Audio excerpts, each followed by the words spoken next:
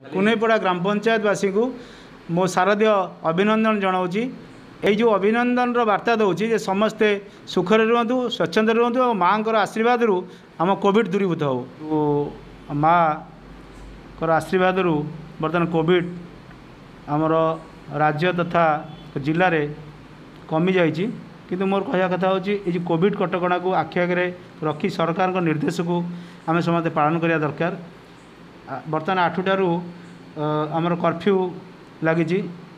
ସମସ୍ତେ ସରକାରଙ୍କ ନିର୍ଦ୍ଦେଶକୁ ଯଦି ପାଳନ କରିବେ କୋଭିଡ଼ ନିଶ୍ଚିତ ଭାବରେ ହାର ମାରିବ ଏବଂ ମାନବ ସଭ୍ୟତା ଜିତିବ। ତେଣୁ କୋଭିଡ଼କୁ ଆଖି ଆଗରେ ରଖି ମାଆଙ୍କ ପୂଜା ଏବଂ କୋଭିଡ଼ ଏ ଦୁଇ ଜଣଙ୍କୁ ପରିପୂରକ ଭାବରେ ମାନେ ସମସ୍ତଙ୍କୁ ସମ୍ମାନ ଦେବା ମାଆଙ୍କୁ ଭକ୍ତି କରିବା ଏବଂ କୋଭିଡ଼କୁ ମଧ୍ୟ ସମ୍ମାନ ଦେଇ ତାକୁ ମଧ୍ୟ ଆମେ ପ୍ରତିହତ କରିବା ପାଇଁ ତାର ମଧ୍ୟ ପଦକ୍ଷେପ ନେଲେ। ମୁଁ ଭାବୁଛି ଭଲ ହୁଅନ୍ତା। ତେଣୁକରି ମୋର କୁନେଇପଡ଼ା ଗ୍ରାମ ପଞ୍ଚାୟତର ସମସ୍ତ ଅଧିବାସୀ ଏବଂ ଜନସାଧାରଣଙ୍କୁ ମୁଁ ଅ, ମାନେ ଏକ ଜଣାଇବାକୁ ଚାହେଁ। କାର୍ଯ୍ୟନିର୍ବାହୀ ଅଧିକାରୀ ହିସାବରେ ଯେ ସମସ୍ତେ ସଚେତନ ରୁହନ୍ତୁ ନିରୋଗୀ ରୁହନ୍ତୁ ଏବଂ ସ୍ୱଚ୍ଛ ବାତାବରଣ ନେ- ନେଇ ଏ, ଶାରଦୀୟ ମାଆଙ୍କ ଯେଉଁ ଇ- ମାନେ ଦୁର୍ଗା ପୂଜା ତାକୁ ସଫଳ ମଣ୍ଡିତ କରନ୍ତୁ।